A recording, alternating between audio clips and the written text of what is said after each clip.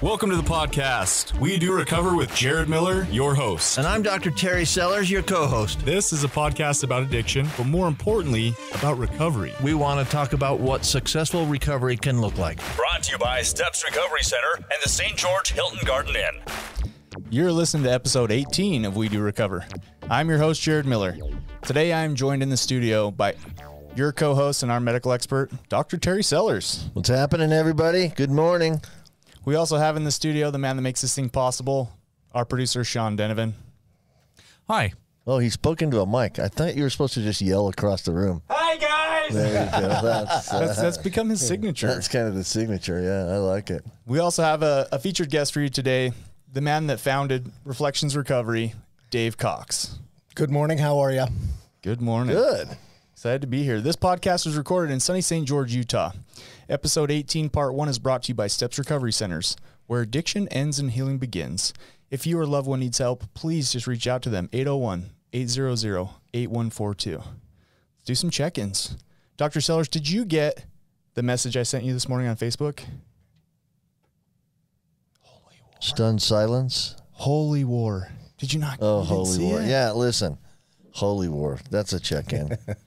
I, I, I'll believe this thing when I see it. But first of all, Utah hasn't stepped on the field yet. So it's a little premature to talk about the fact that we could actually play each other.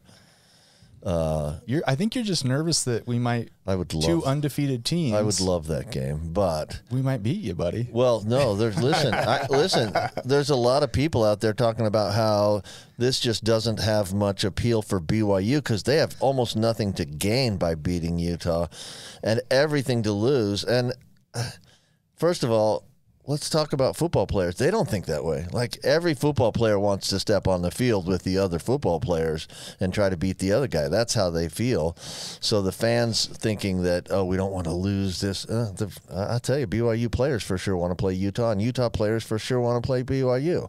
I hope That's what happens. competition is, right? Oh, absolutely. So they they they want to play the game. I just don't know if I believe it'll happen. Should we put a wager on it? Sure, Uh, whether So- it'll happen or a wager on the actual On game. the game. Oh yeah, like for I'm, sure. I'm trying to get my next semester If tuition paid. if you'll go, if you'll go straight up without points, I'll take any amount of money you get you want to bet. so here will be the wager. if Utah wins, Wife's listening. Ten you pay thousand dollars. you pay my next semester's tuition. if, if BYU if BYU wins, I'll pay my next semester's tuition. This, this is going to end up being a gambling recovery podcast here pretty soon. yes, yes. Thank you for pointing. that Thank out. you for pointing that out. We'll have a Gamblers Anonymous meeting right after this. Yeah.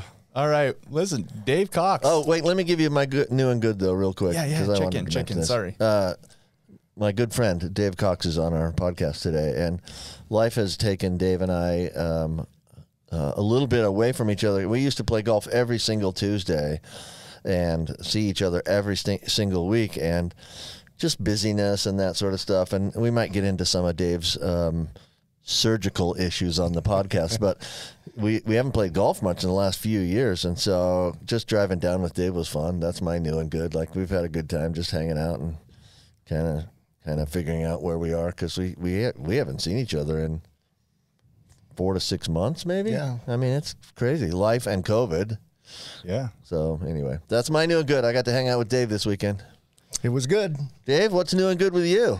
Anything happening? Yeah, Anything yeah. Actually, uh, uh, lots of have been happening. You know, staying busy, but I've actually turned to possibly retiring What? Speaking to your mic. And uh, and stepping back a little bit, kind of uh, handing the flame over to uh, uh, one of my trusted colleagues and and uh, take some time to spend with my wife, my grandkids, and Wow. You're scaring me. We are the exact same age, basically. yeah, yeah. And uh, I'm not ready to retire yet, mostly because financially I couldn't do it if I tried, but whatever. So tell us that trusted colleague. What's his name? Uh, Dustin Barker. Dustin Barker. Dustin Barker might have a message for you this morning. Yeah. we're, do- we're doing live Hey, stuff this right is now. Dustin Barker. Um, just wanted to share my love for Dave. I met Dave in 2008 at a facility called the Ark of Little Cottonwood and have followed Dave around since. He's one of the most passionate, um, amazing people I've ever met, selfless, caring, and kind. um, an awesome example of recovery, and there's no way I'd be alive or um, here without him. Love you so much, Dave. Wow. That was a surprise. Yeah. Yeah, I like nice. it. Great surprise. And remind me to pay him. Yeah, exactly. exactly. Uh, thanks Oh, for, thanks wow. for leaving that message. Oh, but Dustin. listen, What that's a, good that's a strong message. Uh, Dave's not going to accept this, but that's a guy who, a- and he's partially wrong. I get it, but who attributes his life to Dave saving it, and that's not. I mean, Dave won't say this, so I'm saying it, but, um, but that that's why Dave does this job. I guarantee it. Like the, like, there's people out there that need help, and Dave has been willing to step in and, and help them. So. We've been fortunate to to be able to guide, you know, set, guide, tell them where not to step, maybe, and and uh, you know these guys do the work. They find their way. They they they make the changes in their lives, and we just get the opportunity to give them some direction. And and Dustin is one of those guys. For 12 years, uh, for several years, he struggled in and out and off and on, and and uh, man, it just it came on really strong for him. He he uh, he became uh, uh, you know a good, honest, sober recovery guy. He started working in the industry, and now he's very well known as as one of the best marketers for for recovery. That's awesome. I got to say, if I can take a minute, do a quick little check in. A common theme that I've noticed with people that have long term recovery is a lot of times they have somebody that kind of looks out for them, you know, and, and I can't speak for everybody because everybody's, you know, journey in this thing is, is different, right? But I know for me, loss was a big thing. Lost my dad, lost my brother.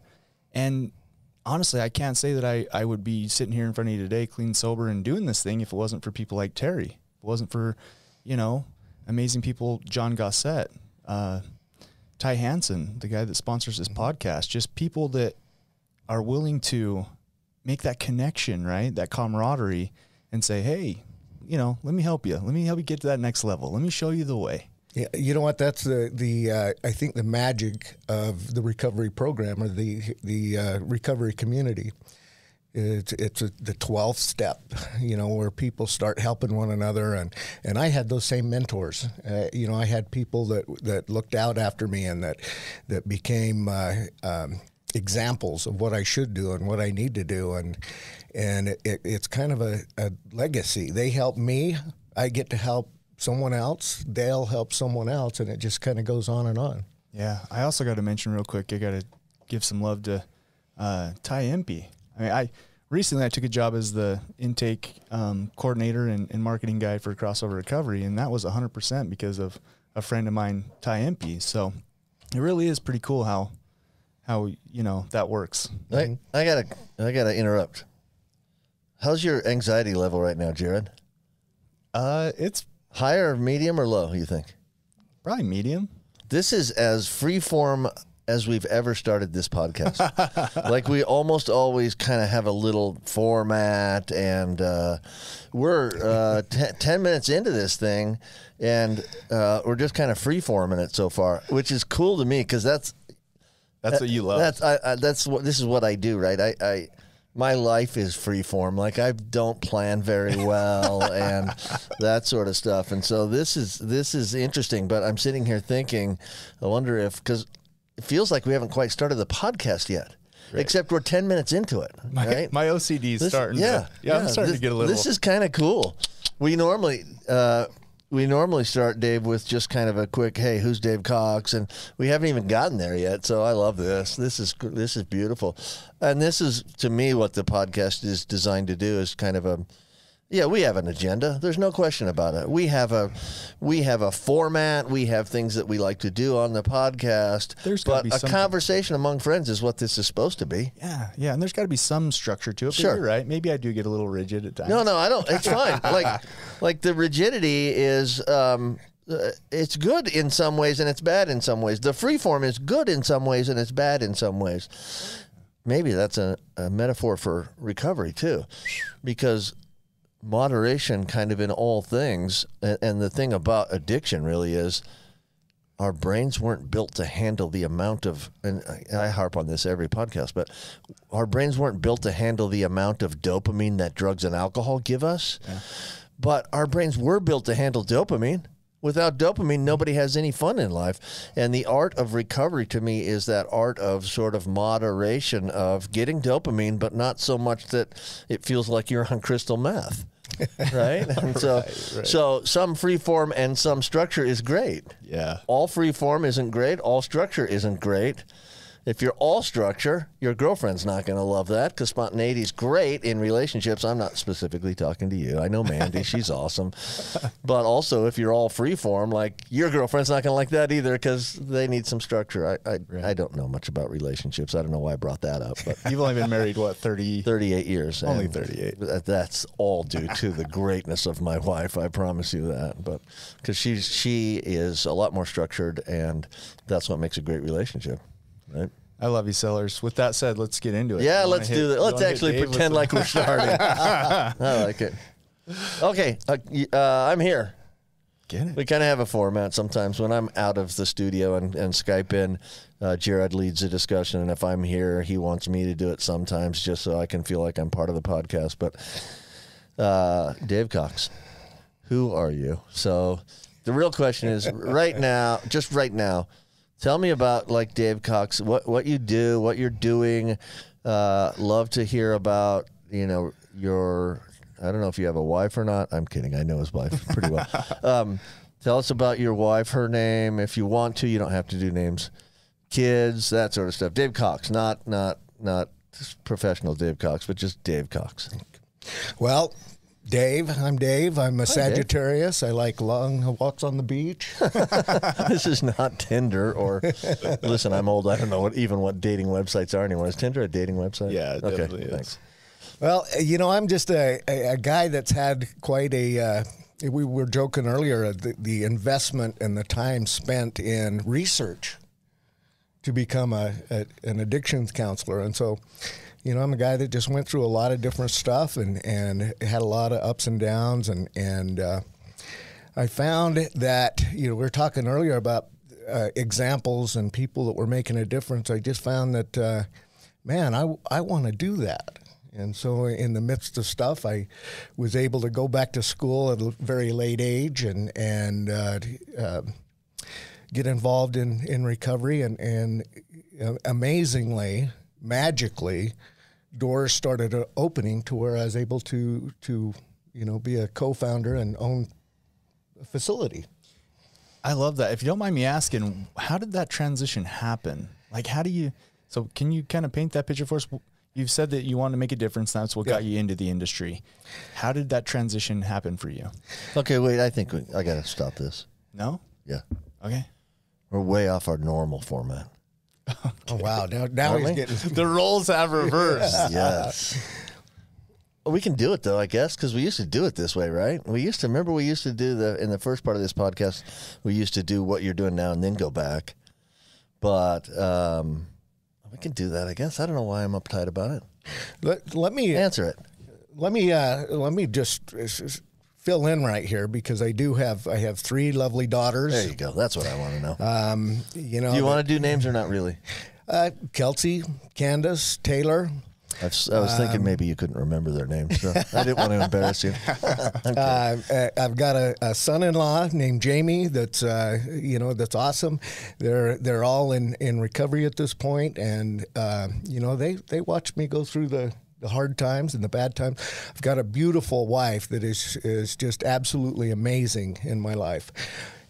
Yes, you do. Talk about relationships. I'm I'm the guy that's that's been married four times, and so divorced three, and I couldn't do relationships. And it wasn't until I I got in recovery and started doing things differently that that things were able to work. And of course, she's very kind and patient, and and uh, you know puts up with me. She is. So so that's my life. I I uh, um, Can Can I ask a question about that? yeah, Uh, what's your wife's name? Michelle. Okay. Uh, anything new in Michelle's life today? Today, uh, today she's getting a new car. Oh yeah, getting a Jeep. She's getting a new Jeep. Yep. So good for her.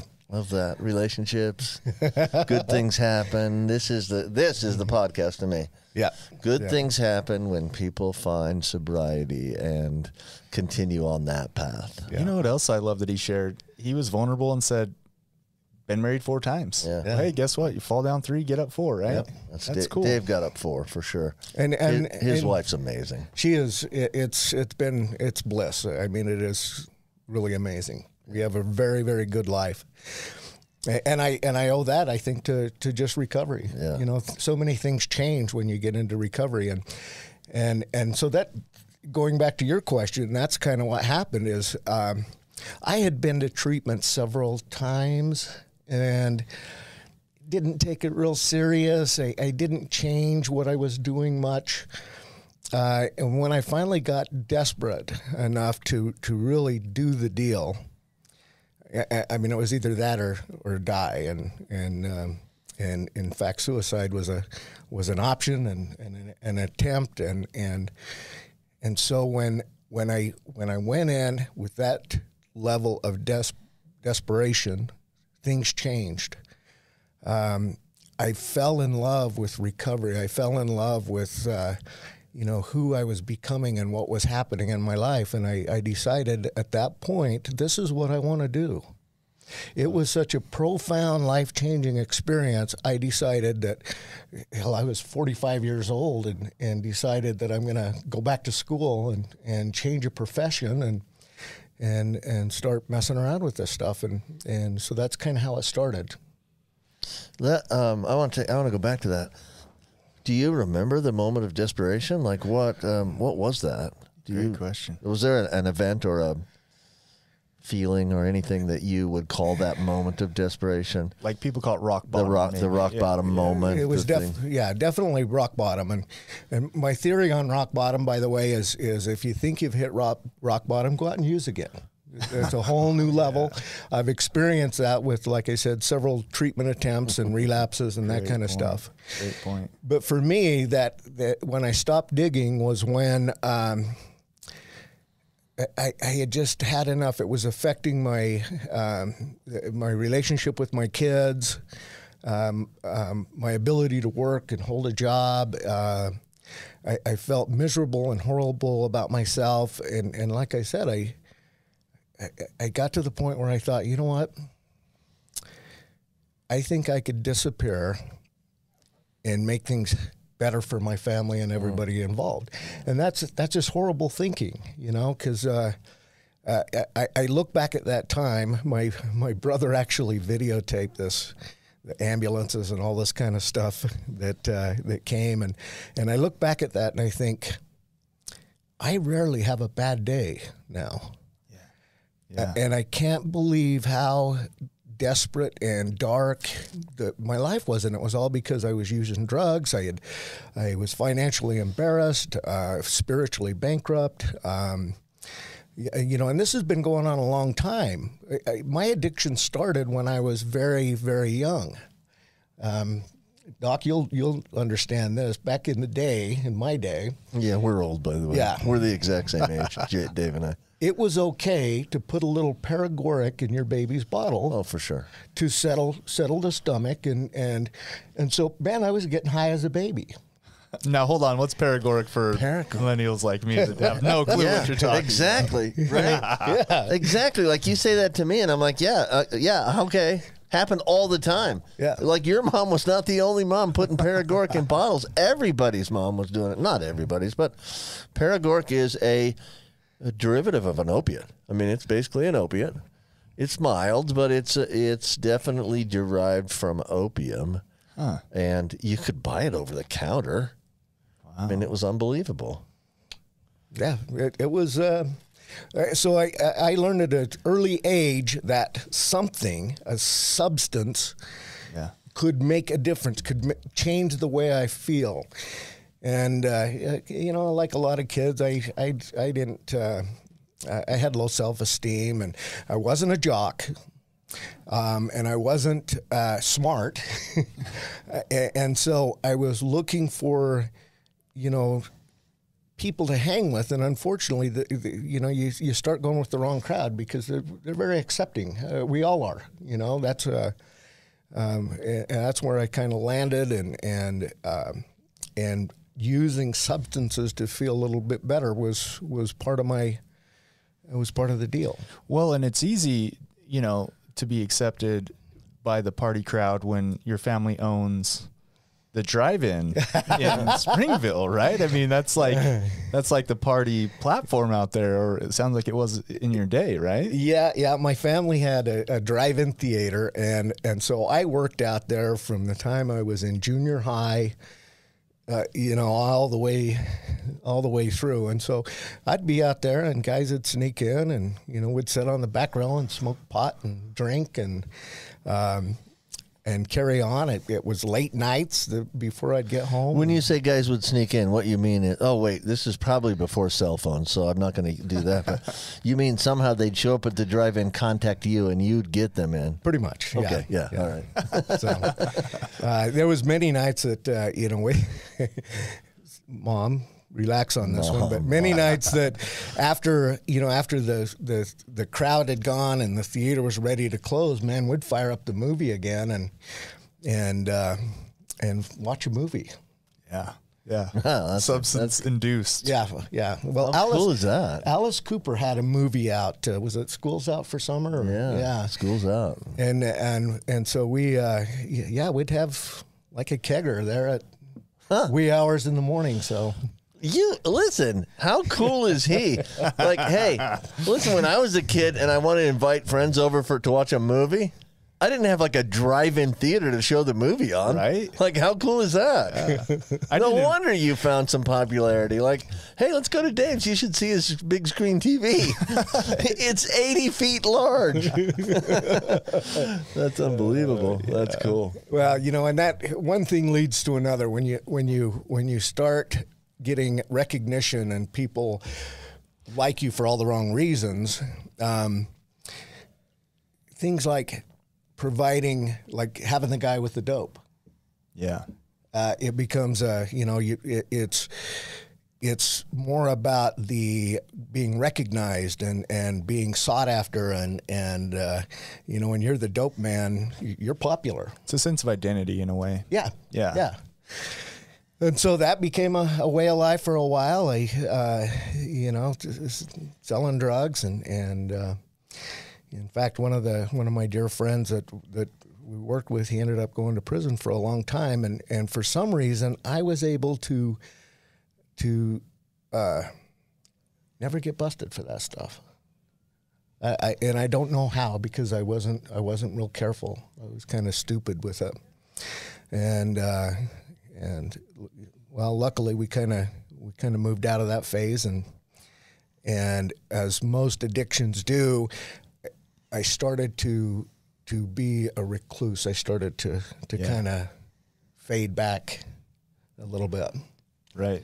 And that I can totally relate with that because I tell people all the time one thing that I never really had to change was my social circles because I didn't use with other people. I was a closet addict. Yeah. I was ashamed of it. I knew what I was doing was wrong. Right, right. I mean, it was it, in the shower before as I got home from work. In the shower, I would, yeah. I don't want to glorify your war story, but yeah, I mean, so I understand. Yeah. That, that's kind of. I think that's the direction most people with actual addiction go. Right. Yeah. Nobody starts that way. Your first, almost no one's first use is in a closet. Right. I mean, have you ever heard somebody say, "Well, I started using in the closet"? No, they start at the places, right? So I started with migraine headaches. People start at high school parties. People start with an injury. People, but the people that wind up getting addicted or dependent on that substance all wind up using to the point where they don't really want their friends to know how much they're using. Right. So it all ends up in, in some secret place, Well, it- dark, cold, secret place. And, and then your friends say, "Listen, let's get going before Dave uses anymore because he turns into a chocolate mess." That was said regularly. so, A ginger mess for you. yeah, Hey, we're about out of time. Uh, we've been we've been talking with Dave Cox, the uh, co-owner of Reflections Recovery. We'll be back right after the break. If you guys like this, please comment, share. It's available on all major podcast platforms.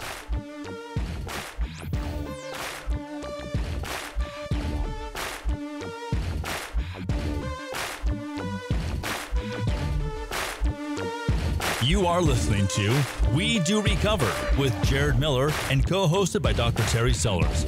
We'll be right back after this short break with more of We Do Recover with Jared Miller, sponsored by Steps Recovery Center and the Hilton Garden Inn.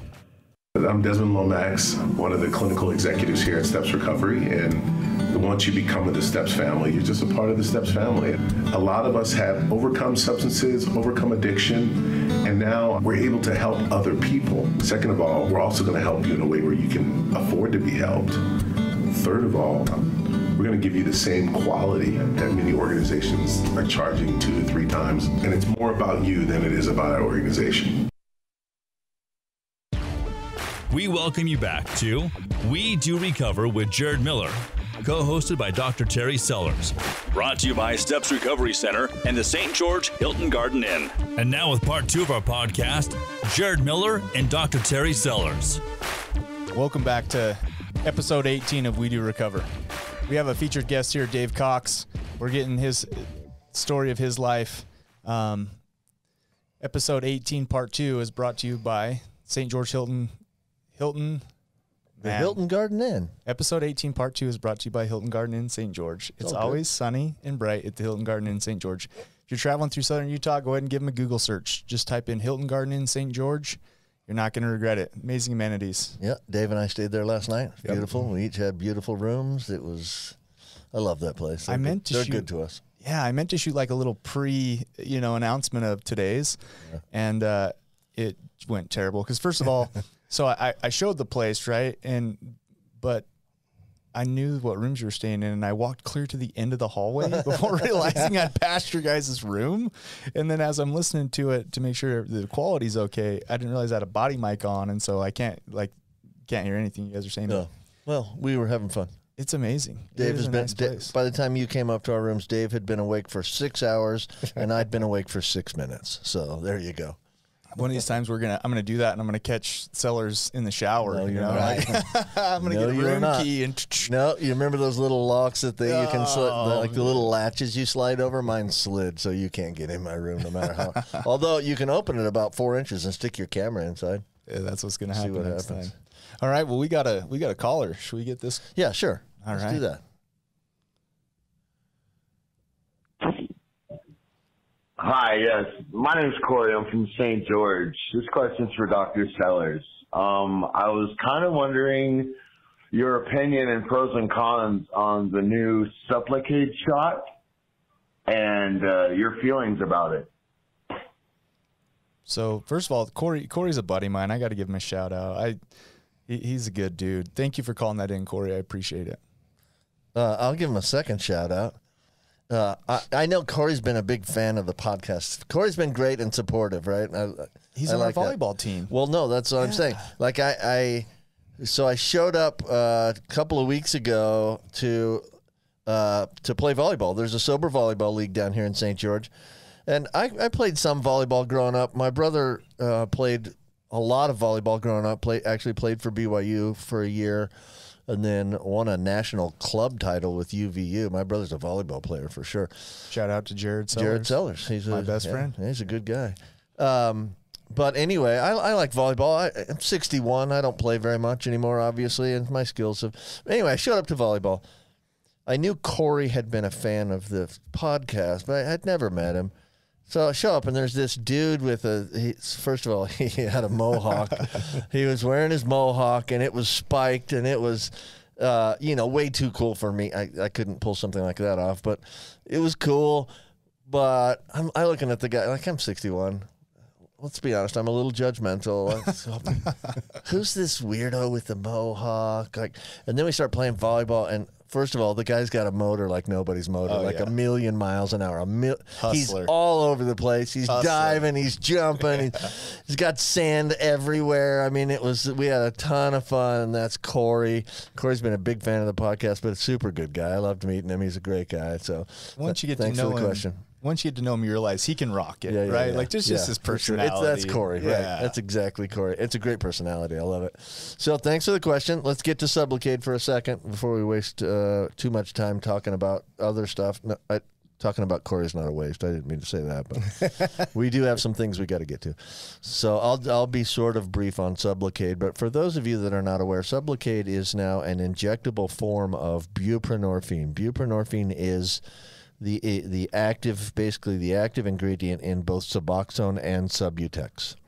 Buprenorphine is, and I think we've gone over this in a previous podcast, but buprenorphine is a partial opiate agonist. Those are medical terms that you don't have to understand, but basically, I'll break that down. It means it goes into your brain, binds to the same opiate receptors that all other opiates, painkillers, do, but it only turns them on part of the way it's a little harder to get high on a partial it's much harder to get high on a partial opiate agonist than it is a full opiate agonist.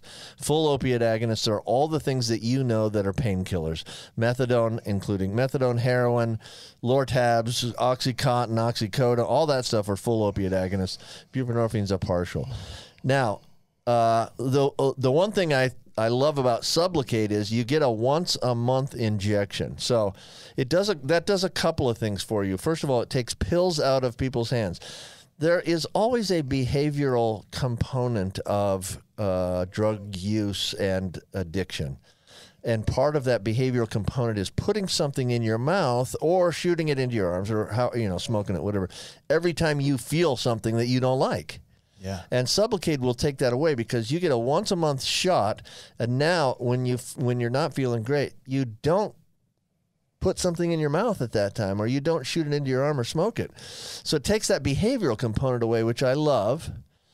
It's an overall slightly, somewhat lower monthly dose of buprenorphine than if you're using the Subutex or Suboxone tablets or films. So you get less exposure to the buprenorphine. Uh, and then the other component it takes away for the physician is, and this is the point I wanted to make when I heard this question was, so I, I was an obstetrician for a long time. I cannot tell you how many people called my office and said that their Lortabs or their Percocet accidentally got flushed down the toilet, or their dog ate them, or you know their neighbor stole them, or now the neighbor stealing them thing is actually possible, but why why is it that dogs never take hypo their thyroid medications or their birth control pills? Why do high blood pressure medications never get flushed down the toilet. It's only pain pills that get flushed or benzos that get flushed down the toilet, right? This takes that component away too. Like early refills, no, you can't call and say I lost my pills. It's it's injected into you. You can't lose it, right? Yeah. So there's a lot of good things. I, I could go on for a while about what I like about Sublocade, but I do like it. I have to jump in with this Yeah. pills comment. So I uh, was missing some of my pills the other day. Okay. Okay, I'm taking testosterone and Crestor. Okay. Big deal. So I called up saying I I'm I think I lost them. I can't find them. And then I said I feel really bad because how often do you get calls from people saying I lost my Crestor? and the lady just kind of laughed. I said I'm, I, I, I'm not, I really think somebody took them, but I don't know what's that worth on the open market. I have no idea. It's like a bunch of people like I need lower cholesterol. All the guys out on the, under living under a bridge wanting to decrease their cholesterol. But having listened to you guys, I felt nervous asking for more medication from my doctor for my my cholesterol. Yeah, I had the same experience with my teeth. If you remember this, I I had uh, on this podcast we played this out, but I had some implants put in my bottom teeth, and I told the guy ahead of time I'm a I'm an opiate addict, and so I didn't want to do opiates, and it wound up hurting a lot more than I thought. But once I'd already told him I was an addict and I don't want to um, I don't want opiates. Then I got hurting, and I'm like, "Oh man, I really need something. This is really bad." But I was too chicken to call the guy back up, so I suffered in silence for well, not silence. I whined to my wife the whole time, but I suffered for a long time. Okay, I spent way too much time. Sorry. That's okay. Let's transition it Yeah. into. I yeah, mean, let's get back to Dave. I know that our guest can totally relate with pain and oh. surgeries. And go ahead, Sellers. Let's. Yeah, Dave, let's do that. Let's do that. Dave and I used to play golf every Tuesday morning. It was a ritual for us. We haven't done that for a number of years now, and let's do that. Let's talk about Dave was playing golf. His knee was hurting. He wound up going in to get his knee scoped. I went in, got it scoped. They they did the the uh, cortisone injections, and and it- came around that I finally had to have knee surgery, and uh, they put a partial knee in, and um, you know, a couple of weeks into it, uh, there's a little plastic piece in there that popped out. Very painful. Emergency surgery to go in and place it, put it back in. They said, Dave, you need to relax, take it, take it easy. And so they put it all back together. Uh, another ten days, and First first surgery was a scope, right? no, no, the, the I I'd had a scope on it, Okay. but the first actual surgery was a, a partial knee replacement. Okay. Um, the second one was was fixing that, you know, putting the, the piece back in, and they thought I was just being too active on it. Uh, it pops out again. So the third surgery, they go in and they say, "Wow, this is uh, there's a problem here. Let's take a look at this." They they go in and find a bone spur that was pushing the little plastic piece out. So they fix it, so it all back up together, and. Uh, I don't know what to do with the mic. So uh, they they put it uh, um, put it all back together, and uh, three weeks into it, it happens again. So now they decide for uh, surgery number four. They decide to put a full knee into it. Um, so they change that out, put a full knee into it, and then I get infected. They uh, they open it up, they scrub it out, and and it's, it's getting painful. The infection was very very painful, and so they they put it all back together, and the infection didn't go away. So then they have to pull out all the the hardware, and um, That's a frequent thing in medicine. If if you have like an artificial piece, like a piece of plastic or metal inside of you that gets infected, a lot of times that metal has to be removed or the infection won't go away. So that's that's common. two months, um, IV antibiotic, that kind of thing. Um, then they then they go in and, and fix it, and then I just feeling a little froggy and think, wow, I can finally walk. Went out, slipped on some wet grass, and, and busted it wide open. And uh, so we had eight surgeries in eight months. Does anybody else feel like they need a painkiller just listening to all that? This is the sa- like- this is the same knee. Can you Hey, hold imagine having a surgery a month? I gotta I gotta On the same knee? emphasize eight surgeries in eight months. In eight months. Now, you if even wrap your head around? No, listen, if you guys can think about this. So, a knee scope, they make a couple of little incisions and put a scope in there, right? Well, that's not what's happening today. First of all, when he gets the total knee replacement, like the sur- the scar's about that big. Oh, yeah. But at the end, uh, Dave's scar, uh, you know, you can't see this on the podcast. I just said that big. Uh, it was about eight inches initially, but by the end, I think that scar was 24 inches long. wow, yeah. I don't know. I might be exaggerating on 24, but 18 inches long. Like, his scar is gigantic. And each time they put metal in, they have to go to a longer, bigger piece Yeah. to fit in the bone. So, so here, here's the deal: doing that in recovery, the first couple of times it was okay. I'm not going to leave the hospital with any pain meds, and and uh, yeah, you know, by the time there's there's a lot of trauma to that point, and so the pain was getting pretty pretty bad.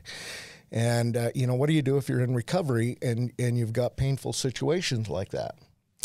Um, you know, luckily I have my support group. You know, one of my best friends, an addictionologist. Um, I, I have I work at a treatment center, and so my circle of friends and my family all understand addiction, and you know I take out the decisions that I have to make and let them make them, let them help me through them. Um, but but I'll tell you the worst part of this was when I'd have to take the meds for the pain, my head would tell me, "Oh, you've screwed up." Right. Yeah. Mm. Yeah, it mm. was, and it was very painful, and it was a lot of misery. Thinking, man, this is, you know, I'm not going to make it. This is horrible. Um, the the shame, the guilt, the the you know, it, it was just, it was really really bad. I could imagine. I could imagine. I mean, first of all, there's a, and Dr. Sellers has said this. There's a difference between taking them as prescribed and mm-hmm. abusing them. Yeah. Right. But I could imagine if if you're in that situation, you're owning a recovery center. You know, you your inner circles, your family, you're all supportive of your recovery. In the meantime, you're taking something, a narcotic that you know mm-hmm. maybe used to be a DOC of yours. Like that would be extremely hard. Yeah. Yeah. I think the critical thing that Dave mentioned was support, support, support. Yes. Like turn some of that stuff over to somebody else. And then um, it's tough. I think what Dave just described, the guilt, is is very interesting because yeah, we're conditioned not to use opiates as, as we get into recovery. It does not mean that people in recovery have to suffer through eight painful surgeries, though. But it's hard to get rid of that guilt. Right. So did you do anything, uh, Dave? I, I just have to ask because I'm I'm thinking, if if tomorrow I had to have open knee surgery, how would I? And I'm a listener. How would I go about that? Like what um, checkpoints did you put in place? maybe Good to- topic. Good question. Yeah. First of all, go to to a doctor that you can be very open and honest with, and let them know your condition. Scary, right? So scary. not so no, not Dr. listen, Sellers. I'm serious. No, scary. This is scary Yeah. because everyone's afraid. If they tell a doctor that they have a problem with pain pills, Yeah. they're afraid the doctor's not going to give them pain pills, right? What what really happens in, in, in the case of opiate dependence? And um, trying to be careful with my language. I, I'm I'm okay calling myself an addict. We don't we try not to do that in our industry in our field, but I'm going to just refer to myself. In addiction, we you know we try to be. Um, man, I lost my train of thought. Where was I going? Oh yeah, so we're telling a doctor. Sorry, we're telling a doctor that we have a problem with addiction. That's supposed to trigger in that doctor a response of. First of all, this guy might actually require more pain meds than somebody who's never been addicted. And the doctor's response is going to be less pain meds. We're afraid of telling them that because of the reaction we might get. First, the judgment, and then second of all, maybe the guy's not going to treat me adequately because he's afraid of giving me pain pills. Yeah, like that's got to be a little scary. Did you experience that, Dave? Uh, you know, I, I was. Uh, I had a group of doctors that kind of understood. The the guy that did the surgery, I, I mean, he, he's done work on me for 20 years. So um, that's uh, uh, that I, I knew that the pain pills would be plentiful if I wanted them Yeah. and and so it was just being able to talk openly how I was feeling, and um, you know, again, I, I I've got an addictionologist that I can talk to, and and my friends, and talk about how I'm feeling, and talk about the guilt and shame and the, all that stuff that's going on. So. Um, yeah, yeah, you know, we got through it. I, it was uh, it was interesting, but it, we got through it. Great answer. I was I was wondering. So I've had to had dental work done, right? And so I've been prescribed like Lortabs or Percocets or whatever. But what I try to do is I I'll give them to somebody I trust. Yep. Yep. Did, was there any of that? Oh, absolutely. My uh, my wife kind of knew what was going on and where it was at, and and uh, um, you know, you, you work out with the doctor. You kind of have a plan. You know, I don't want a big bottle of pills. I want I want to be able to check in regularly to make sure that everything's good. I, I don't want to go in there and say the dog ate them, and so so you know, again, you just you set up a series of checks and balances to make sure that you're you're on top of things. But but there again, your head goes crazy, and, and that's where you you just need to be able to talk to people and, and figure it out.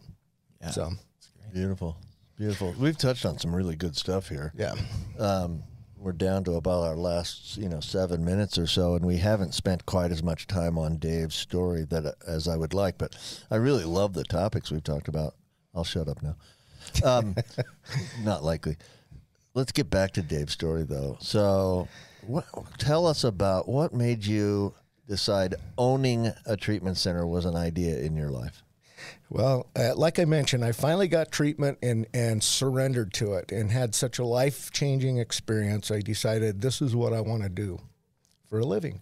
If I can experience this this change and this happiness from wanting to die several months ago to to wanting to live more than I've ever wanted to live, I want to share that.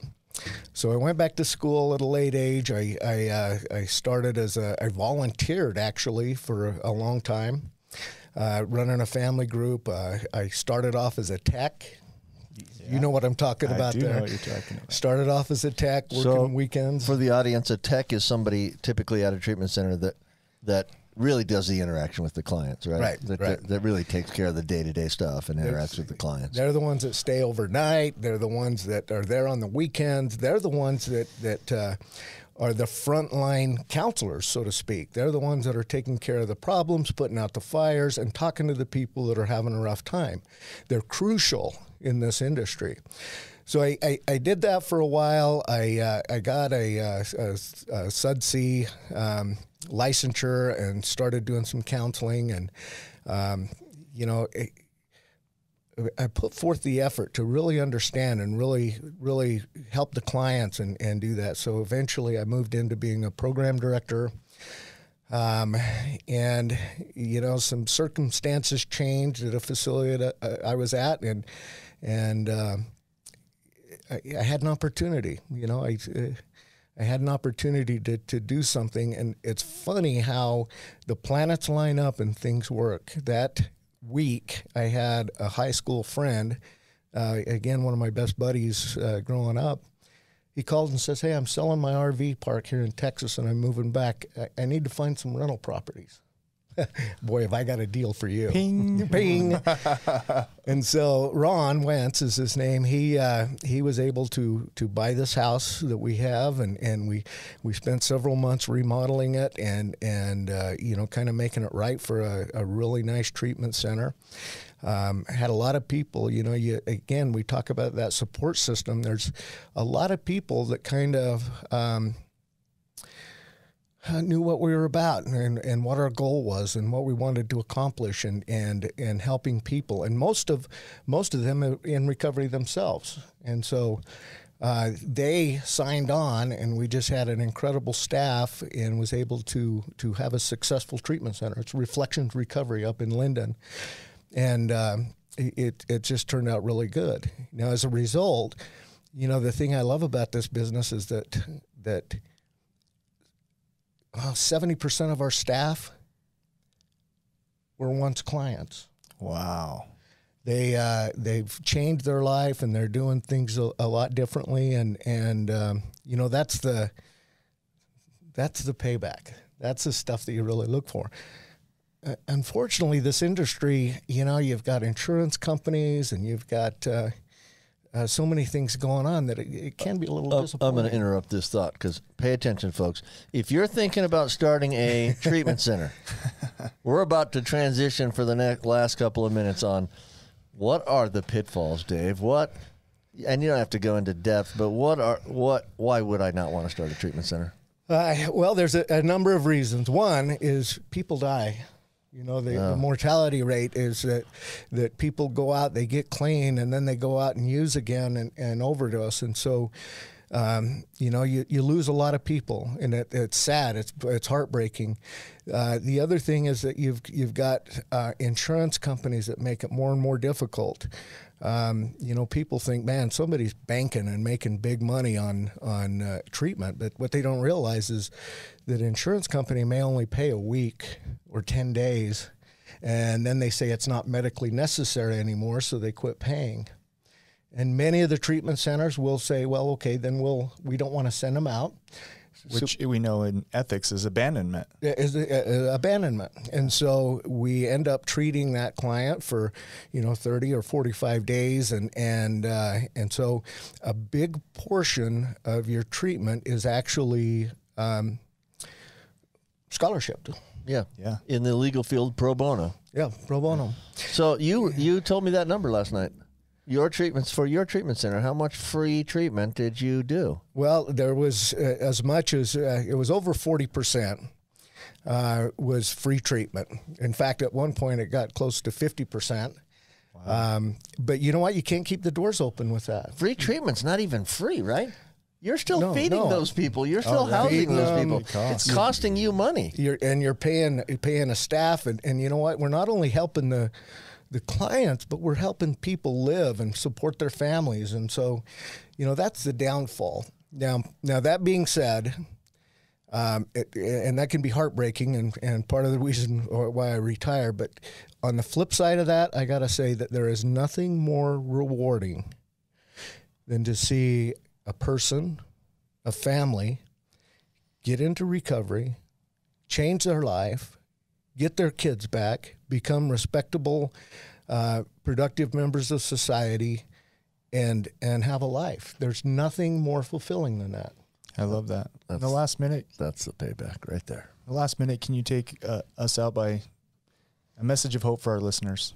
Uh, you know what? I uh, uh, a message of hope. You and I were talking about this last night. Is that recovery opens the doors for so many things. Not only helping other people and service and feeling good, but the planets line up. Doors open and and you will find a niche. You will find a career. You will find. Uh, um, a life. A ba- uh, yeah, you'll find a a, a, a, a calling, a calling, uh, and, and abundance. You know, things work out, and uh, there's it, it's worked out really good for me, and, and I you know I get to ha- hand the torch to Dustin and and watch him do the same thing. Thanks, everybody. We're out of time. Dave Cox, Reflections Recovery. Give them a call if you're having any troubles with substance abuse. We appreciate his we appreciate our guest. Thanks, Dave. Thank you for joining us today on We Do Recover with Jared Miller. Help us spread our message of hope. Like, comment, and share. If you have any topics or ideas for future shows, please share that on our Facebook page. That Facebook page is We Do Recover with Jared Miller. If you or a loved one needs help, please reach out to us. Again, thank you for listening. Brought to you by Steps Recovery Center and the St. George Hilton Garden Inn. This has been a production from a podcast studio.